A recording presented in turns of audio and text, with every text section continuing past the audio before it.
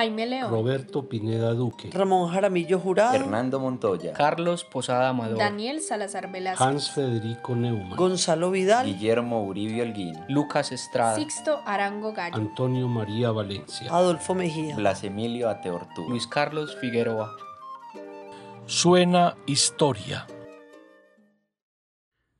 La de hoy es una historia muy hermosa en homenaje a un hombre sencillo, humilde y modesto que se convirtió en gestor cultural, animador de toda la actividad musical y hoy la figura más representativa en la historia del corregimiento de San Antonio de Prado al sur de Medellín.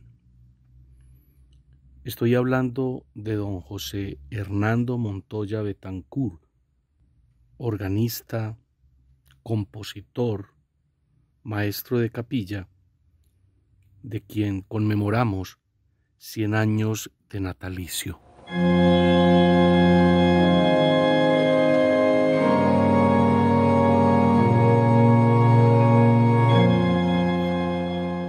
Don Hernando Montoya nació en el corregimiento de San Antonio de Prado el 11 de diciembre de 1921 y falleció el 25 de abril de 1994. Fue más de 20 años maestro de capilla y organista de la Catedral Basílica Metropolitana de Medellín y maestro de capilla y organista de la iglesia de su terruño, San Antonio de Prado.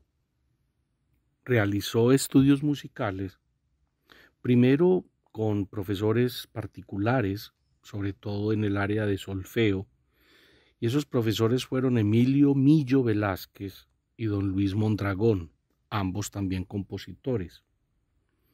Posteriormente, estudió piano con don Nicolás Torres y con la maestra italiana Ana María Penela en el Instituto de Bellas Artes de Medellín.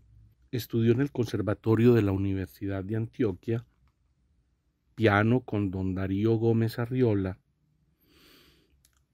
armonía, contrapunto, fuga y composición con el maestro y doctor italiano Rino Maione, e historia de la música con el padre benedictino David Puyol, algo que él siempre resaltaba, y es que en el estudio del órgano, en la interpretación organística, que fue quizás su más importante actividad musical, fue un completo autodidacta. Escuchemos el preludio de la suite para piano del maestro Hernando Montoya en interpretación de Santiago Herrera.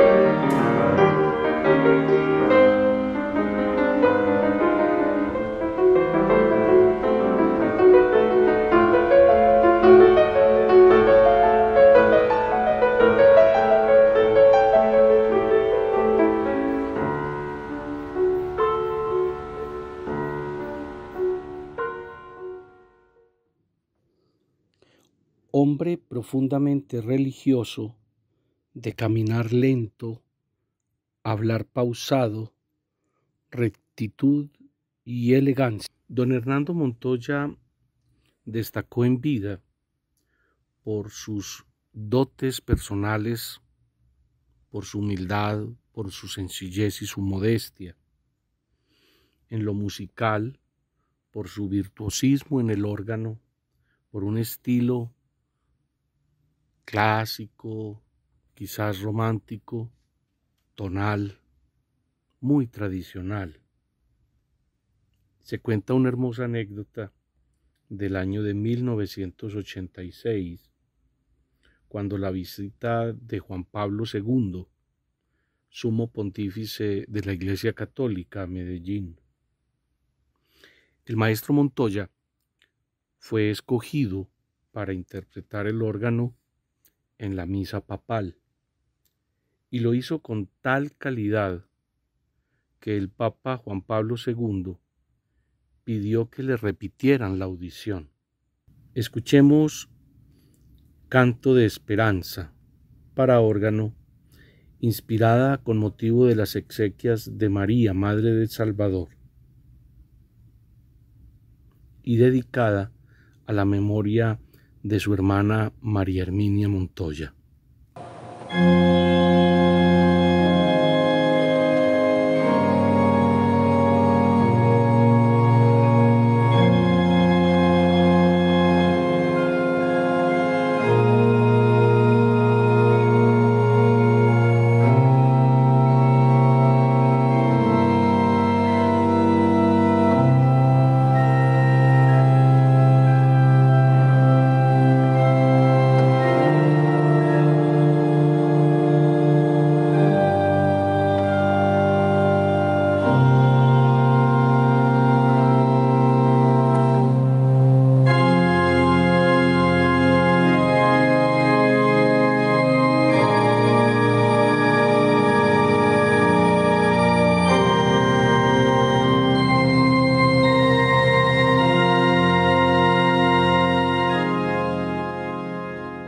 Maestro Hernando Montoya fue profesor de historia y apreciación musical en el Instituto de Cultura Popular, animador de la Semana Cultural de San Antonio de Prado, gestionó la compra del órgano de la Casa Balker de para San Antonio de Prado en 1955 fue organista en prácticamente todas las ciudades colombianas y se presentó en dos ocasiones en la sala de conciertos de la Biblioteca Luis Ángel Arango del Banco de la República en Bogotá en los años de 1979 en diciembre y en el año de 1982 en noviembre. Entre los logros más importantes de la gestión artística y musical del maestro es que fue el fundador de los festivales internacionales de órgano de Medellín, realizados entre 1975 y el 2007. Estos festivales fueron los primeros que se celebraron en Sudamérica, teniendo como modelo la organización de los festivales de Morelia, México, a donde fue invitado especialmente en el año de 1975 y que hoy llevan el nombre de Alfonso Vega Núñez, su iniciador.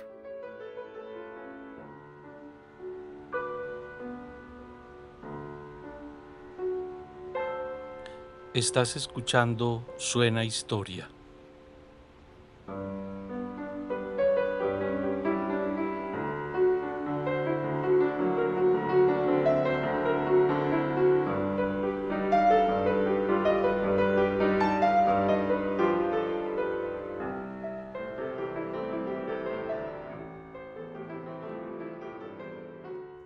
El maestro Hernando Montoya fue miembro fundador en el año de 1983 de la Orquesta Filarmónica de Medellín. Y por concurso fue invitado por la organización Socios de las Américas a tocar en los órganos de la ciudad de Boston, Worcester, Norwalk en Massachusetts en mayo del año de 1973, siendo el primer organista colombiano en tocar allí.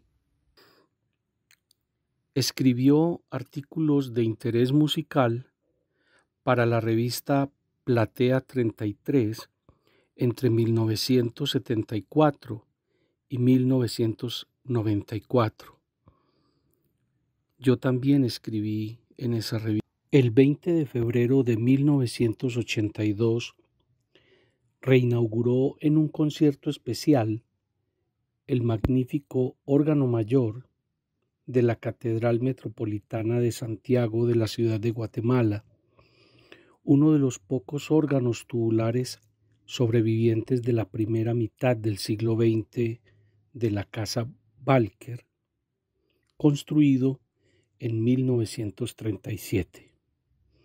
Es el único órgano de Latinoamérica apto para tocar música del periodo romántico. Escuchemos el comienzo de la salutación angélica, siete corales y fuga para coro a cuatro voces mixtas, con letra del escritor Jorge Montoya Toro sobre cada uno de los primeros versos del Ave María, una obra que fue estrenada en el cuarto Festival de Música de Medellín en 1969 en el Teatro Pablo Tobón Uribe. Salutación angélica.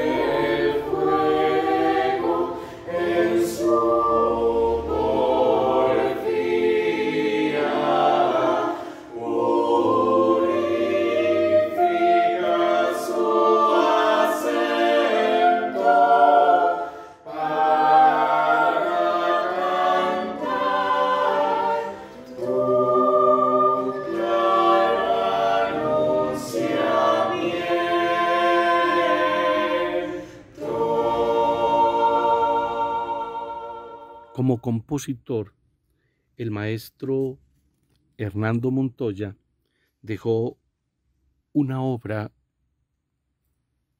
pequeña en cantidad, pero sumamente cualificada en lo musical. Podemos mencionar, por ejemplo, los himnos para el municipio de Béjico, el himno para San Antonio de Prado del año 1984, el himno del Politécnico Jaime Isaza Cadavid del año 1987 y el himno triunfal de la Sociedad San Vicente de Paul de Medellín. Para su instrumento, el órgano, escribió un andante, la fantasía en la menor, la tocata en do, el trompetista voluntario y un coral. Escribió también los gozos para la novena a la Sagrada Familia, dos villancicos, la cueva divina y la felicidad, los gozos para la novena al Niño Dios, siete corales y fuga, entre los que destaca Llama de Amor Viva sobre versos de San Juan de la Cruz. Para piano escribió una hermosa suite que él denominó número uno para piano, dedicada a la memoria de su hermano José Roberto, que está integrada por los movimientos preludio, vals, nocturno, minueto, fuga y marcha de máscaras. Además escribió una tocata para piano. Escuchemos El trompetista voluntario para órgano dedicado a la señora Celina Escobar.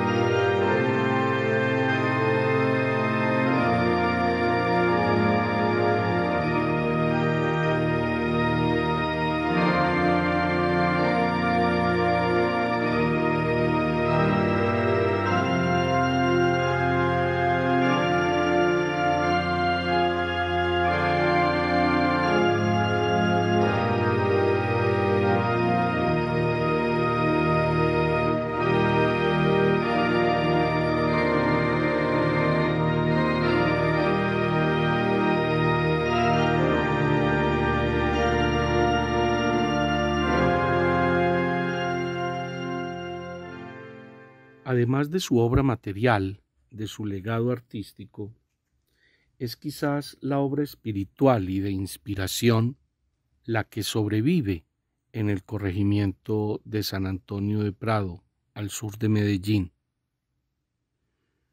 En su honor y homenaje se ha hecho la Casa Musical José Hernando Montoya Betancur, donde se imparte enseñanza musical a los niños y jóvenes del corregimiento, continuando su legado pedagógico.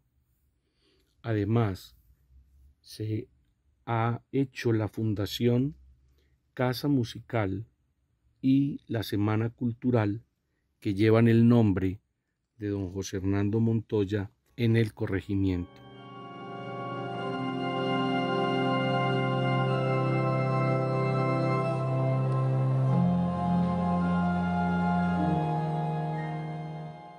Nuestro homenaje a don José Hernando Montoya Betancur, organista, maestro de capilla, compositor, gestor cultural y animador de la actividad musical en San Antonio de Prado, a los 100 años de su natalicio. Soy Luis Carlos Rodríguez y esto fue Suena Historia. Síguenos en nuestras redes sociales, Facebook e Instagram como Luis Carlos Historiador. Escúchanos en Spotify, Anchor, Apple Podcast y Google Podcast como Suena Historia y en YouTube como Luis Carlos Historiador. Y recuerda, esto no lo vas a encontrar en un libro.